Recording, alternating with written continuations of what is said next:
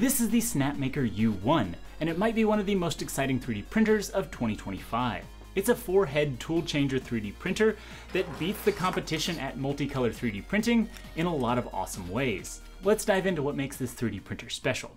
First off, a little disclaimer, this is a pre-production beta unit, so hardware, software, and firmware will change between this printer and the final unit. Hardware, probably only minor tweaks. The firmware and software, on the other hand, I do know they have some big changes on the way. I'm not usually interested in testing out beta units because there are so many issues I've run into, but this was such an exciting machine, I'm really glad I said yes. Since this is a beta unit, I wouldn't consider this a full review of this machine because if you buy a U1, you're not going to get this same machine. Hopefully it'll be a much better machine. This is more a first look at what I was able to make on this machine, point out a few of the issues that I did run into, a lot of them I know have been addressed and they just need to push the next update on the firmware. Snapmaker is mostly known for their 3-in-1 3D printers. That's a 3D printer, a CNC machine, and a laser engraver. This is just a 3D printer and it has four tool heads on here. That's four different nozzles, extruders, fans, everything. This front carriage here does the motion and has a fan in it. That's all it does. It's got a build volume of 270 millimeters in every dimension. That's a good mid-range 3D printer. It's not a small printer. It's definitely not the largest out there. This is what 270 millimeters tall is. Really tall things you can print. And when you coil up things like this dragon, you can print even larger. It's not an enclosed printer, but there are these divots and pegs up here it's basically designed to be put inside of an enclosure. They said they're working on one that's going to come later on. So currently no high temperature filaments in here, no ABS, no ASA, but you can print PLA, PETG, and TPU. On the top back of the printer, there's a six pin port here. Not sure what this is gonna be added onto. Probably something with the enclosure on top, maybe a fan, maybe a heater.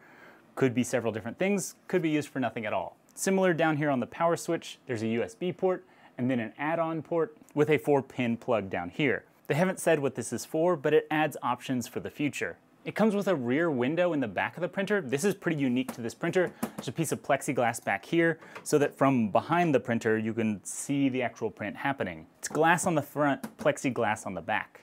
Each of these print carriages comes with three aligning pegs and three pogo pins. These are for powering the fan. This print carriage doesn't have any other wires going to it, it gets all its power through those three pogo pins. Each of these is detachable. I can manually pull it off like this. You can see the gears inside there to drive the filament, so if anything goes wrong, you will be able to see the issues going inside there. Mounting it is pretty simple. This long rod here goes through here, and back here there is another sensor probably telling whether this is docked or not. So you just slide it through,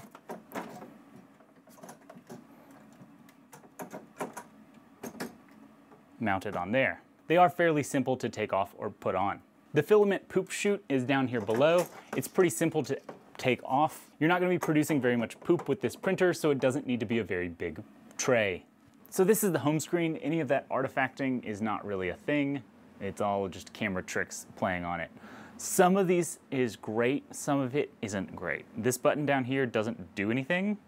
To start a print, you press start. This opens up all the files that it currently has on here. You can scroll through there really easily if I want to start a print. You can select which color you want here. Select next. Then you can select your print preferences, extrusion flow calibration, a heated bed leveling, or to do an auto time lapse. And then you can select print to start your object. This is kind of the menu settings.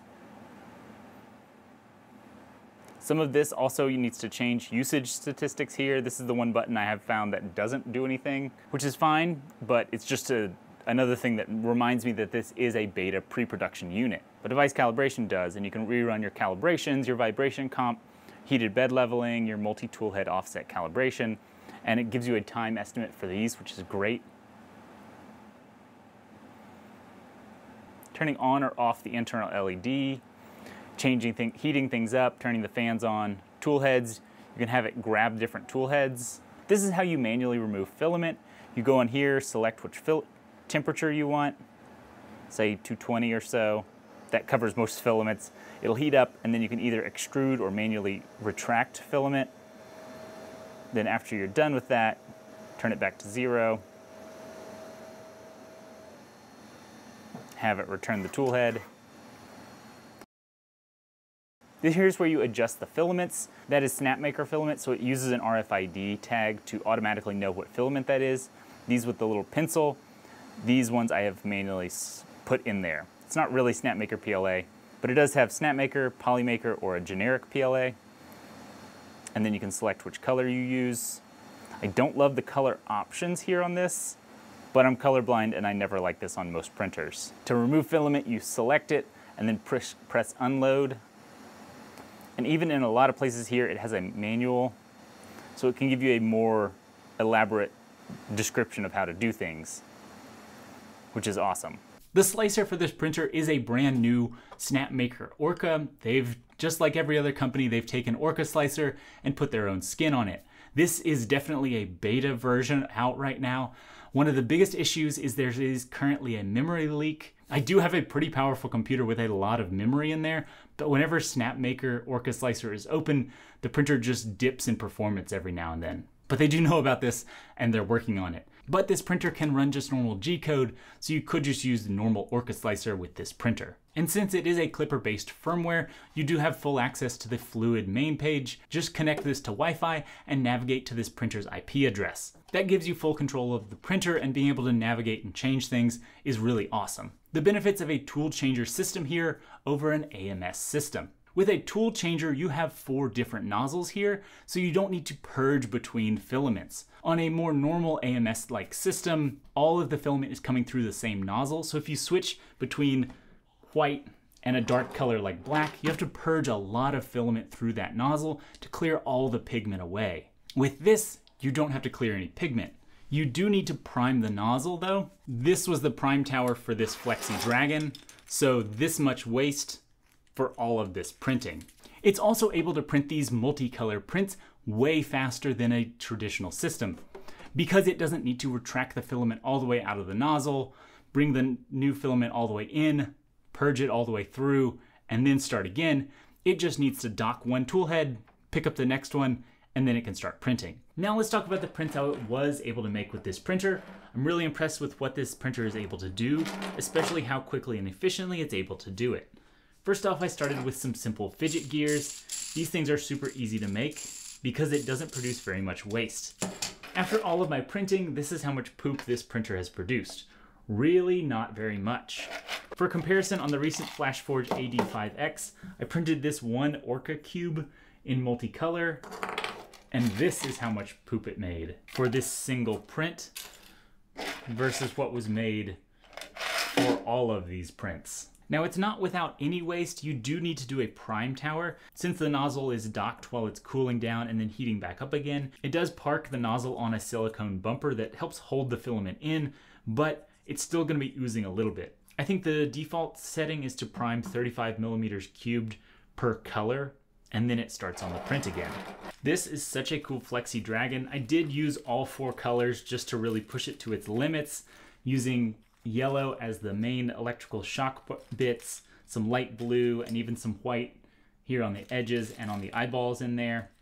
Very not necessary to add all these colors in here, but I was pushing it to its limit to really see what it could do. So inside of Klipper, I can check the history of how long these prints took. I don't know if this actual print time includes the startup routine because I did select different startup routines for different prints, but either way, this is kind of an estimate it said this dragon took 22 hours and 22 minutes. The estimate inside of Snapmaker Orca is that it would take 10 hours to print this in one color, but it did say that the estimate for printing this full thing was 16 hours, actual time being 22 hours. But it's pretty incredible that something this intricate and multicolor can be printed inside of a day.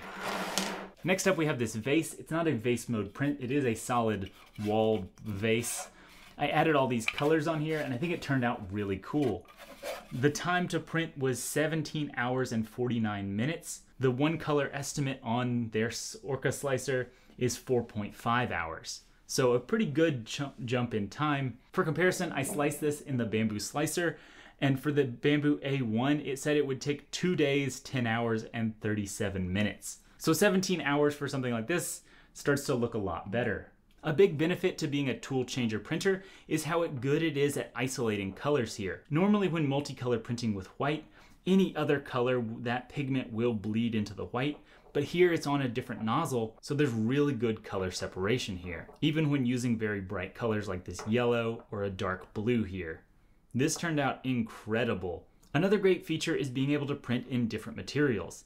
This top is printed in TPU and then you're easily able to add PLA supports to be really stiff on the bottom. This I waited to remove while we're on the camera here.